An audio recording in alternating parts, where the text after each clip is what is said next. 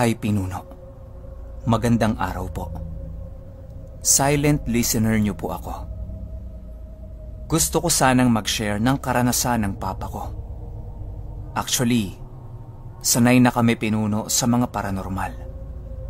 Kasi bata pa lang ako, nakakakita na ako ng mga multo at aninong itim nung nasa Maynila pa kami.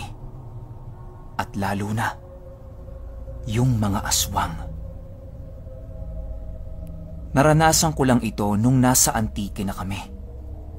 Kaya naaaliw talaga ako sa mga kwento mo. Marami din po kasing nangyayari sa akin. Nakababalaghan. Maging sa pamilya namin. Lumipat po kami ng Antique. Pero ako ngayon, nasa Iloilo na dahil sa trabaho ko. Gusto ko lang po sanang ishare yung karanasan ng papa ko na isa sa mga tumatak talaga sa akin. Ganito po yung kwento niya. May resort po kasi sa Antique Pinuno. Di ko na lang papangalanan kasi baka mapagalitan ako. Hehehe. Anyways, yung papa ko kasi yung parang nagogwardya doon. Kaya doon siya natutulog. Way back 2017 or 2018. Hindi ko na talaga matandaan kung anong taon yon pinuno. Sorry. Ayun na nga. Mga bandang alas 5 o alas 6, may nag-check-in sa hotel na yon na mag-asawa. Isang foreigner at Pinay. Yung foreigner, medyo payat. Tapos yung kasama niya, isang malaking babae. Ang sabi ni Papa, parang kinutuban daw siya. Pero hindi niya alam yung dahilan. Kaya ayun na nga, yung pinili nila ay yung pinakamataas na kwarto na nakapwesto sa attic. As in, solong kwarto lang yun. Tapos ayun na, nilibot daw nung babae yung tingin niya. Tapos pumunta siya sa terrace. Nagtanong yung babae kung binubuksan daw ba yung ilaw sa labas ng terrace na yon. Sumagot yung papa ko ng, Opo, binubuksan namin yan paggabi.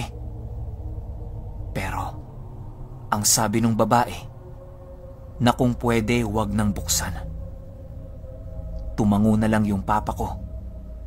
Tapos nung makababa na sila, sinabihan niya yung kasamahan niya sa trabaho na wag bubuksan yung nasabing ilaw sa terrace. Fast forward tayo pinuno. Sumunod na araw. Hinihintay nila yung guest na bumaba. Kasi nga almusal na. Kasama yon sa mga libre kapag nakapag-check-in ka na. Mga alas 9 na pero hindi pa rin sila bumababa. Kaya pinapuntahan nila sa isang waiter yung nasabing kwarto. Baka kasi gustong magpa-room service. Nung nakabalik na yung waiter, napansin nilang nakasimangot ito. Tinanong nila kung ano daw ba ang gusto ng guest. Ang sagot nito, di daw sila kakain eh. Kaya ayos lang naman yon sa kanila. Pero tinanong siya ng papa ko kung bakit siya nakasimangot. E ayaw naman pala nilang kumain. Sumagot yung waiter. Tapos ang sabi niya, nung pag-akit niya sa itaas, Nung nasa kalagitnaan pa lang siya ng hagdanan, may naamoy daw siya na mabaho na malansa. Hindi niya maipaliwanag.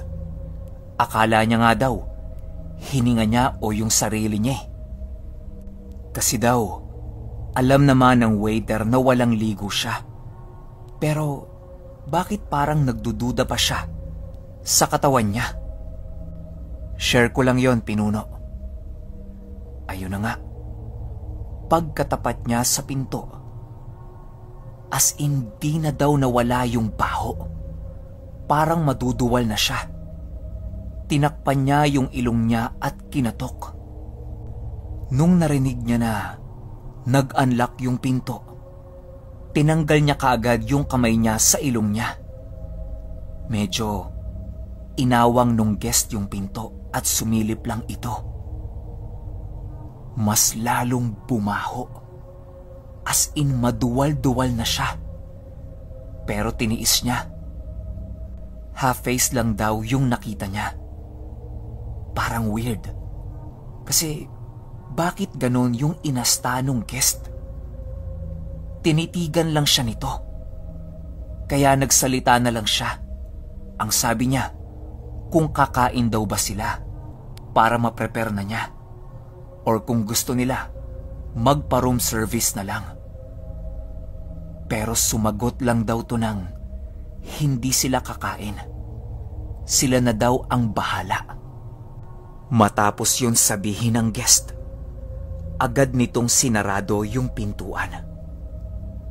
Ayun na nga, hindi lumabas yung guest nila ng buong araw. Lumabas lang to nung mga 5.30 na o alas 6 ng hapon. Tapos umalis. Magpapalinis daw sila ng kwarto. Nung oras na yon, umuwi na rin yung papa ko sa bahay namin para makapag-ayos.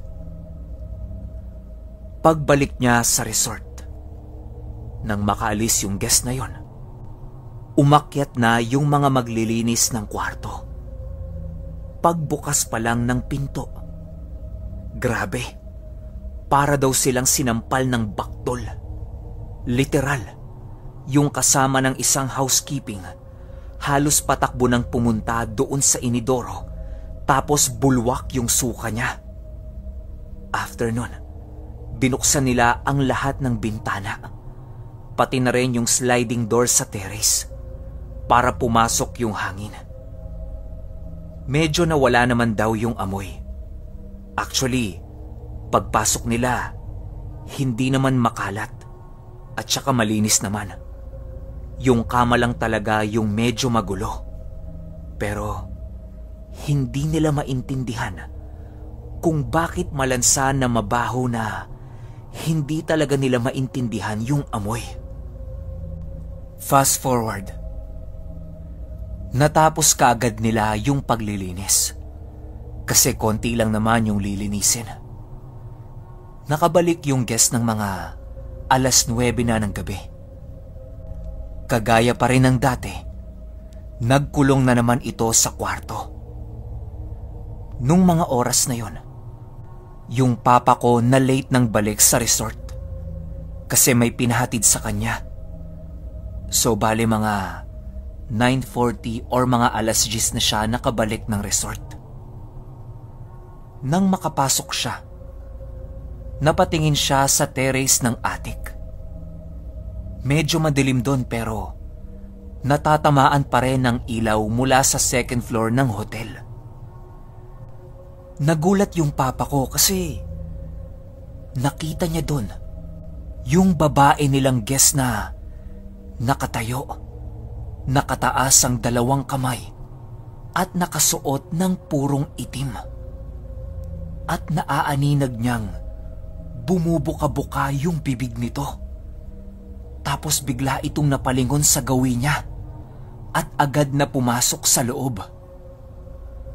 Yung papa ko naman, nawirduhan. Ito na po yung time na hindi malilimutan ni papa. So lahat tulog na kasi lagpas alas 10 na eh. Mga alas 11 na ng gabi yun. Sa lounge area, doon natulog ang papa ko. Total, siya lang naman mag-isa doon.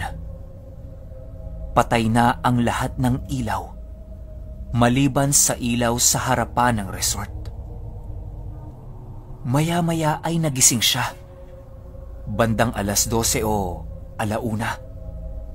Nakatagilid kasi siya noon. Tapos napatingin siya sa sliding door. Gawa po kasi yun sa salamin. kaya makikita mo yung labas. Napansin niya na may babaeng nakatayo sa labas na parang sinisilip yung loob. Akala niya yung tita ko kasi magkasing katawan sila eh. Pero napansin niyang nakataas ang lahat ng buhok nito kaya kinutuban siya. Bumangon siya at kinuha yung itak niya na nasa tabi niya. Sinigawan niya ito ng, Hoy! Sino ka? Tapos bigla daw gumilid yung babae. Nung labasin niya ito, nawala na. Nagtaka yung papa ko kasi terrace yung side na pinaggilidan nung babae. Naalala niya yung weirdong guest nila sa taas na kasing katawan din ng tita ko. After nun, same routine lang. Yung ginagawa nung guest nila, buong araw sa kwarto, hindi kumakain at lalabas ng gabi. Ganon lang yung ginagawa nila sa buong stay nila sa resort. Dumating na yung last day ng guest. Mag-check out na sila. Usually, dun ulit natulog yung papa ko. Pero nung mga oras na ito, nakatalikod na siya sa pinto para hindi niya makita yung labas. Nagising siya ng madaling araw. Pero nagtataka siya kung bakit hindi siya makadilat at saka hindi siya makagalaw na parang may pumipigil sa kanya. Nakakarinig siya ng mga hakbang mula sa likuran niya Naiiyak na siya sa sobrang takot at nagdadasal na siya sa kanyang isipan. Nang biglang may sumigaw ng sobrang linaw na, Andiyan na siya! Boses yun ng isang bata at doon siya nakadilat. Bigla rin siyang nakagalaw. Hinawakan niya kaagad yung itak niya. Paglingon niya, wala siyang nakita. Imbisay, bigla siyang nagulat kasi biglang sumarado ng malakas yung pintuan sa CR. Kaya agad niya itong pinuntahan. Pagbukas niya, nakabukas na yung bintana doon. Pinuno, yung bintana po sa CR malaki at pwedeng kumasya ang tao kung nanaisin. Matapos yun, umuwi siya sa bahay namin sakay sa kanyang tricycle at doon siya natulog. Pagka umaga, bumalik siya. Maaga daw nag-check out yung guest nila na parang nagmamadali. Pero hinala nila, mga aswang yon. Pero syempre, wala naman silang basihan maliban kay Papa. Yun lang pinuno. Marami pa akong kwento. Pero ito na lang muna. Sa susunod na lang yung iba. Maraming salamat pinuno kung mababasa mo ito. PS Pinuno, sana wag nyo na lang pong banggitin yung pangalan ko. Kilala po kasi ako sa amin. Itago mo na lang ako sa pangalang Choi short for Tabachoy. Maraming salamat po. God bless. Hi Pinuno. Magandang araw po ulit. It's me again. Choi na taga-antike. May ikukwento po ulit ako na naging karanasan ng isang lasinggero sa barangay namin. Itago na lang natin siya sa pangalang Boyet way back 2017. May certain place po kasi sa barangay namin na kung tawagin ay Riit. Bisaya term. Sa Tagalog, parang lugar ng kababalaghan. Hindi lang ako sure. Pero, yun yung malapit na term para sa Riit. Anyways, yung lugar na yon ay yung kanipaan. Bale, Before ka makapasok sa barangay namin, may kanipaan kang madadaanan. Bale, katabi siya ng kalsada. Ayun na nga. Kasi dati, may nagkwento na may namatay sa kanapaan dahil sa lunod. Pero napaka-imposibleng malunod kasi ang tubig doon ay hanggang lagpas tuhod lang. Kasi nung nakita yung bangkay, as in maputla na at nakadapa sa putikan. Lumipas ang ilang taon. Nakalimutan na ng mga tao yung tungkol sa kwentong yon. Ito na nga. Halos araw-araw tong umiinom si Boyet. Walang palya pinuno. Sinasabihan na nga siya ng mga kamag-anak niya na magsama siya kahit isa lang. Kasi baka madali siya doon sa kanipaan. Kasi pinuno, may paniniwala yung mga tao dito na may aswang sa kanipaan. Pero hindi siya nakikinig. Sinasabi niya lang na sanay na daw siya at hindi daw siya aanuhin ng aswang kasi nga lasing siya. Hanggang sa dumating yung araw na hinding hindi niya malilimutan. Araw ng biyernes. Nakipag-inuman si Boyet sa mga kumpare niya sa ibang barangay. Ginabi ulit siya ng uwi. Same routine. Naglalakad lang siya papauwi. Sobrang dilim ng lugar na yon pinuno. Tanging isang ilaw lang ng poste yung makikita mo. At dun yun mismo sa kanipaan. Nang malapit na siya sa kanipaan, sumisipol-sipol pa siya habang pagewang-gewang ang paglalakad. Nang biglang, may humampas sa ulo niya mula sa likod at nawalan siya ng malay. Nagising siya nang maramdaman niyang may humihila sa kanya papunta sa kanipaan. Nung mga oras na yon, sobrang labo na ng paningin niya at hindi niya maaninagan kung sino man ang humihila sa kanya. Wala din siyang lakas para lumaban. Dala na rin siguro ng sobrang kalasingan nang mahila na siya doon, ay bigla siyang sinakal at pilit na nilulublob yung ulo niya sa tubig. Pilit daw siyang kumakawala pero sobrang lakas daw nung lumulubog sa kanya. Sa bawat panahong naaangat niya yung ulo niya, pinipilit niyang sumigaw ng, Tabang! Tabang!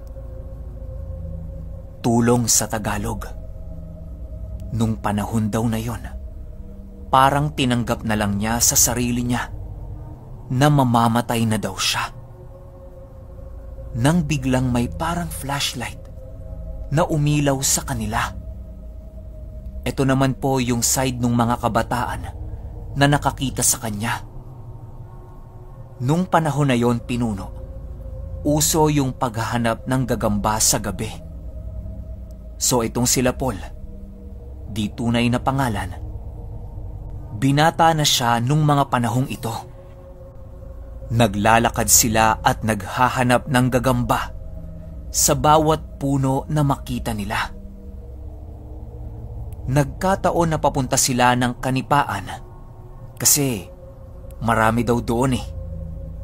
Total marami naman sila kaya hindi sila natatakot.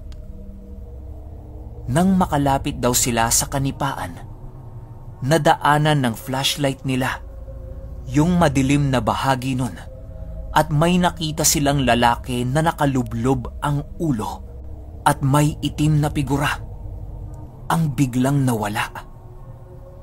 Kasabay nun ay biglang may lumipad na malaking ibon paitaas. Sa takot nila ay bigla daw silang nagtakbuhan Balik po tayo kay Boyet Pinuno. Nang maramdaman niyang wala nang nakahawak sa ulo at batok niya, Hinugot niya ang natitirang lakas at inangat ang ulo niya mula sa tubig at sumigaw ng tabang. Ilang beses niya daw yon inulit-ulit hanggang sa nakarinig daw siya ng mga nagtatakbuhan papunta sa kanya. Nang makita niya yung mga bata at si Paul, nabuhayan siya. Agad siyang inakay ng mga ito papauwi sa bahay nila. At yun po, pagkaumaga, naikwento niya sa mga kapitbahay niya at kumalat na rin sa buong barangay namin. Kaya magmula noon ay nagpaparonda na ng tanod at naglagay na rin sila ng maraming ilaw at doon na patunayan na hindi simpleng pagkalunod ang ikinamatay nung taong namatay doon sa kanipaan.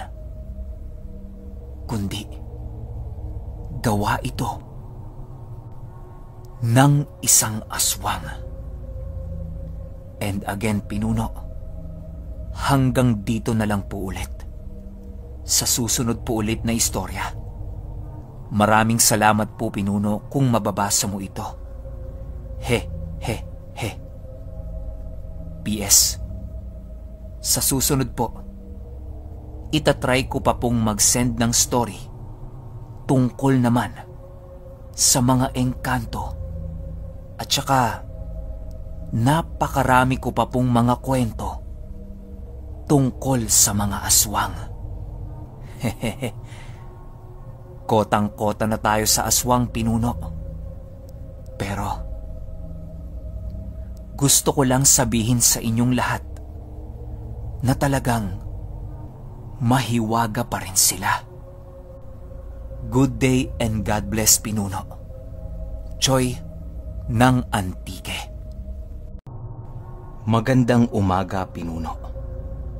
Ako nga pala to, si Daboy isa sa mga masugid mong tagapakinig.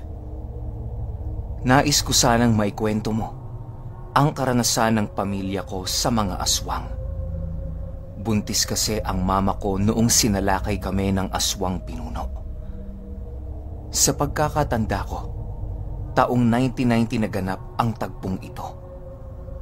Pitong taong gulang pa lang ako noon pinuno at masasabi kong wala pa akong muwang sa mundo. Noong panahong ito ay nakatira kami sa malawak na palayan doon sa Samar.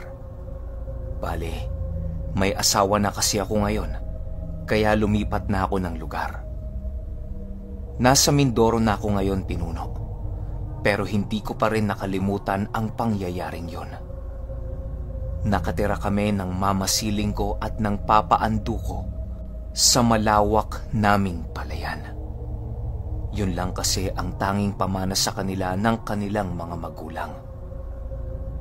Medyo may kalayuan kami sa bayan, kaya pahirapan ang pagpunta namin doon. Palagi kasing maputik ang daan at meron itong mga malalalim na parte. May kapatid ako na nagngangalang Ay-Ay. Itong si Ay-Ay ay masayahing bata sa aming pamilya. Siya ang pinakamahal ng aming mga magulang. Mahirap mang isipin pero sa bawat pamilya sa mundo ay meron talagang anak na mas paborito. Palagi kaming magkasama nitong si Ay sa lahat ng oras. Bawal kasi kaming maghiwalay gawa ng maaaring maligaw kami sa lugar na aming tinitirahan.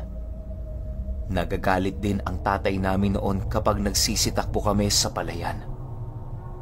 Ayon kasi sa tatay ko na maraming maliliit na kumunoy na naroon sa aming palayan. Kapag naman wala kaming ginagawa ay nangingisda kami kasama ang aming ama sa palayan mismo. Napakaraming tilapia kasing naninirahan doon na nagsisilbing ulam namin sa tuwing kami ay kinakapos. Napakahirap ng buhay namin noon pinuno na halos sa kahit pag-aaral man lang sa akin sa elementarya ay pahirapan pa. Umpisahan na natin ang kwento. Isang araw, nagtapat ang mga magulang namin na nagdadalang tao ang aming ina. Siyempre, masayang masaya kaming pamilya dahil sa madadagdagan na naman kami. Noon ding araw na yon ay para bang meron nang nagmamasid sa amin. Hindi yun isang tao, bagkus ay isa itong hayop. Ibon ayon sa aking ama. Dumaan pa ang mga buwan at doon na nga nangyari ang kakaiba kong karanasan.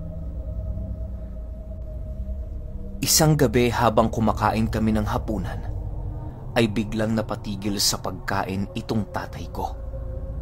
Meron kasing kumakatok sa aming bahay na talaga namang ikinagulat naming pamilya. Hindi na kasi kami nagkaroon ng panauhin sa loob ng mahabang panahong paninirahan namin doon. Malayo din kasi ang pamilya ng mga magulang ko pinuno. Nasa Mindanao pa ang mga yon. Sino yan? Tanong ng aking ama. Ah, tao po. Ako po si Dolin. Nais ko ho sanang makiinom ng tubig. Wika nito.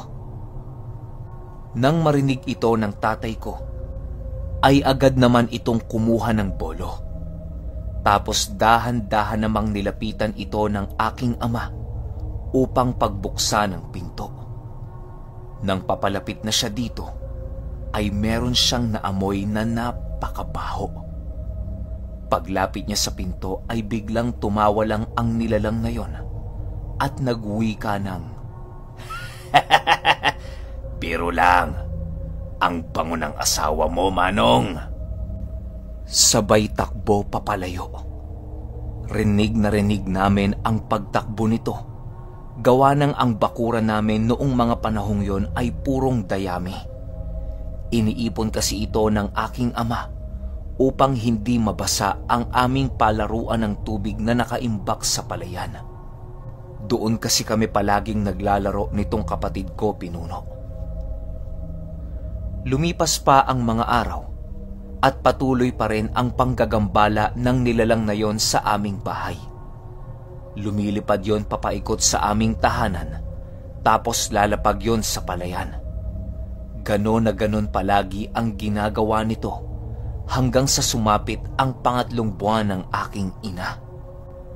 Sa tuwing nandoon ang nilalang na yon sa aming bahay, ay nakakaramdam ang aking nanay ng pagkirot sa kanyang tiyan na para bang merong nilalang ang humahawak dito. Nakakarinig na rin kami ng pagnanangis tuwing gabi sa aming paligid. Halos nga, hindi na kami makalaro ng kapatid ko dahil sa takot. Ang aking ama naman noong mga panahong yon ay palaging tuliro sa bawat gabing dumaraan hanggang sa dumating ang araw na ikinatakot talaga naming buong pamilya. Sa kadahilan ng ang nilalang na yon ay biglang naging kalabaw. Nakita ito ng aking ama nang nagpakain siya sa aming mga alagang aso. Ayon sa aking ama na meron siyang nasipat na isang lalaking hubot-hubad. Tapos napakaraming langis sa kanyang katawan di kalayuan sa aming palayan Bigla itong humawak sa lupa tapos unti-unting tinutubuan ng sungay. Napatigil naman ang aking ama nang masipat niya ang nilalang na yon dahil sa pagkagulat at pagkamangha dito. Nang naging kalabaw na ito ay bigla yung sumugod patungo sa kanya. Kaya ang ginawa ng tatay ko noong mga panahong yon ay dali-dali rin itong pumasok sa pintuan ng aming bahay. Ang mga aso naman namin pinuno ay nagsipulasa na dahil sa takot. Umaalulong ang mga yon na isang indikasyon na meron itong kinakatakutang nilalang sa paligid. Hanggang sa biglang tumahimik ang paligid. Pero yung nanay ko ay sigaw ng sigaw pa rin. Gawa ng nakakaramdam na naman ito ng pagkirot. Ang tatay ko naman ay paikot-ikot lang sa bahay dahil sa nakakaramdam din ito sa paligid. Ilang oras lang ang lumipas nang biglang merong sumuwag sa dingding namin. Butas ang dingding ng bahay namin ng suwagin yon ng napakalaking kalabaw. Napakalaki nito na halos doon pa lamang ako nakakita ng ganon kalaking kalabaw. Pagsilip ng aking ama sa butas na nagawa nito sa aming bahay, ay doon niya nakita ang kalabaw na hindi normal.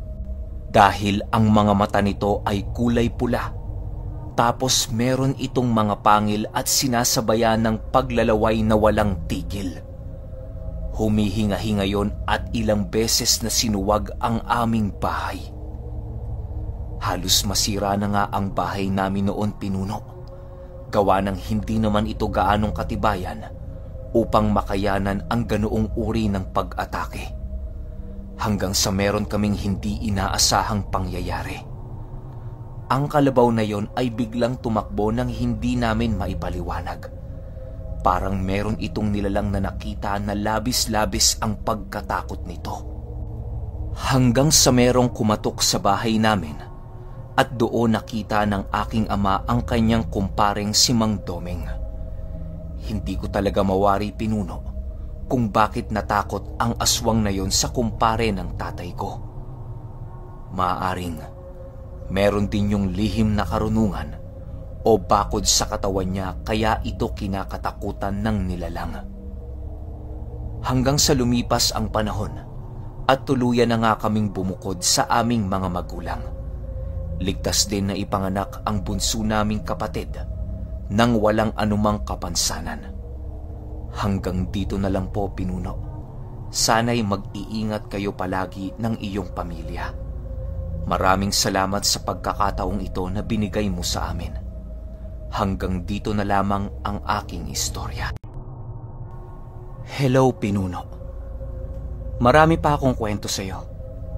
Ito naman ay tungkol sa aswang, kikik, wakwak, tiktik, kokok, na normal na sa pandinig ko. Maging yung mga huni nila taong 1985 Toboso. Alas 4 ng umaga. Nakagayak na si Lola sa kanyang kapehan. Nagpapakulo na si Lola ng tubig para sa kape sa isang malaking lata ng mantika at nakasalang yan sa tatlong batong malaki bilang kalan niya. Isang beses biglang lumilim. Akala niya kumilimlim lang Pagtingala niya, ando doon yung kapre. Sinipa yung pinakulo niya. Naasar si Lola. Ang sabi niya sa kapre, Aba, ang aga-aga mo ha. Hindi kita pinapakialaman dyan ha. Kaya huwag kang manggulo dito. Binato siya ng bao. Sabay alis nung kapre. Noong panahon na yon pinuno, kalakasan ng lola ko. Alam ko may karga siya pero di ako nagka-interes dahil takot ako. Maya-maya, may isang tapasero o sakada na humahangos papalapit kay Lola. Humihingi yon ng tulong. Duguan ito at ang haba ng mga kalmot sa muka. Tinanong niya kung napano ito at ang sabi niya, galing daw siya sa plaza at nanood ng Betamax. Nung papauwi na siya ng mga alauna sa may bandang sagingan, akala niya daw baka. Pero nung malapit na siya, babae pala na nakatuwad. Mahaba ang buhok. Ang baho. Tapos yung buhok daw parang may buhay. Kusa daw pumapasok sa ilong at tenga niya. Nagpupumiglas daw siya kaya may mga kalmot siya. Buti na lang dumaan ang isang tricycle at biglang kumaripas sa pagtakbo yung aswang. Habang nagkukwento yung lalaki kay Lola, siya naman ang dating ko para tumulong kay Lola. Pinuno, hanggang ngayon di ko makalimutan yung itsura ng lalaki. Ang kalmot ng aswang sobrang lalim at mahahaba. Ito rin yung panahon na nagbubuntis si Tita Anid. Siya yung nanay ng pinsan ko na sa kwento ko yung halos dalawang buwan sa ospital. 1989 Toboso. Nagbuntis si tita sa pangatlo niyang anak. Pitong buwan ang tiyan niya noon at isang taon pa lang yung pangalawa. Ang asawa ni Tita Anid ay driver ng ambulansya sa aming lugar. Kaya malimit gabi na ito kung umuwi. May isang matanda silang labandera na si Aling Lydia. Nung gabing yon nagtataka si tita kung bakit gabi na hindi pa umaalis yung matanda. Namamlan siya si tita nun. Alas 7 ng gabi tapos buntis siya at may sinat-sinat pa yung pangalawa niyang anak.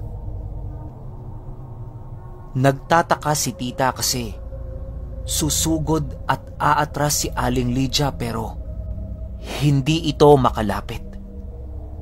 Sinabihan na lang niya ito na, Sige nang, ako na ang bahala. Kaya ko na to. Umuwi ka na. Maya-maya dadating na naman ang asawa ko eh. Yung bata sa sinapupunan niya. Ang ligalig. Galaw ng galaw.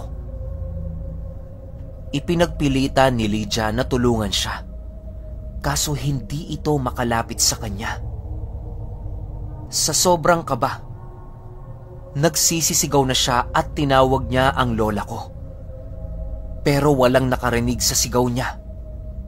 Maliban doon sa kapatid ni Lolo na si Tatay Sikel na nasa kabilang street na mas malayo sa kanya. Yun pa yung unang pumunta sa kanya. Pinuntahan ni tatay si Lola. Pero hindi na nila naabutan si Aling Lydia. Kaya din pala basang-basa yung bulsa ni Tita Anid dahil yung lana pala na nasa bulsa niya walang tigil sa paggulo. Hindi na biktima ni Lydia si tita, kaya dumayo siya sa kabilang sityo. Buntis din yung gusto niyang aswangin. Nagpanggap na baboy si Lydia. Ang hindi niya alam, yung asawa ng buntis ay may alam din pagdating sa aswang. Nagtaka yung asawa kung bakit may baboy. E wala namang may alaga dito niyan. Kaya kinuha ng lalaki yung pinute niya. Ang pinute ay napakahabang itak na kasing haba ng espada. Inabangan niya ito sa silong. Nung lumapit na sa silong yung baboy, wala nang sali-salita pa. Tinagpas nito ang tiyanong baboy. Nagtatatakbo pa ito at hindi niya naabutan. Pero nung kinaumagahan, Nagkagulo na dito sa kabilang sityo. Hindi na nakapasok ng bahay si Lydia. Putol na ang katawan niya. Pero buhay pa rin siya at yung kalahati. Sumabit sa mangrove. Nasa bakuran pa si Aling Lydia. Dumami na ang mga tao. Hiyang-hiya ang mga anak niya at yung kalahati. Kinuha ng mga pulis doon sa mangrove Dumating ang taga DSWD at sila na ang nagdugtong nung katawan. Buhay pa din si Lydia dahil walang anak na gustong tumanggap sa kanya. Kaya ang nangyari, ilang araw lang nabalitaan na lang namin napatay na si Lydia. Kaya naisip namin na may anak siyang tumanggap ng pagiging aswang niya. Wala kaming ideya kung sino. Pero yung isang anak na babae ni Lydia, nakapag-asawa ng mangingisda. Kinagabihan may malakas na unos ang dumaan. Kaya inaasahan ng mga tao, mahal ang mga isda kasi walang pumalaot. Pero nagtataka sila mama kasi biglang dumaan itong anak ni Lydia lukdo ang isang plangganang isda. Ang daming huli. Nanlaki ang mata nila mama at tinawag yung nagtitinda ng isda na isa sa kapitbahay nila. Bumili ito Sabi nila, pag bumili ka ng isda sa kanya, tumalon ka sa bintana at ibitin sa sampayan ang mga isda para malaman kung totoo ba o hindi. Ginawa nga ito ni Nanay Neneng. At yung mga isdang binili nila, naging tenga, daliri, at dila. Simula noon, di na naglako ng isda yung anak na yon ni Aling Lydia. Simula nung nangyari kay Aling Lydia, hindi naman sinugod ng mga tao ang pamilya niya. Yung ibang mga anak wala na pero yung asawa na si Mang Rudy at anak na si Sito, andun pa rin sila. Parehas nagpapadyak yung mag-ama. Pagsapit ng alas 6, kakantsawa na sila ng mga tao. Isang beses noong 2015 nakauwi ako ng Negros. Andun pa rin si Sito. Nagpapadyak pa rin pero medyo may edad na. Isang beses ginabi ako sa daan. Nakita ako ni Sito. Ang sabi sa akin, Day, sakay ka na. Ang sabi ko naman, Sige, pero wag kang lilipad ah. Nakauwi naman ako ng maayos nun. Hanggang dito na lang po muna pinuno. Salamat.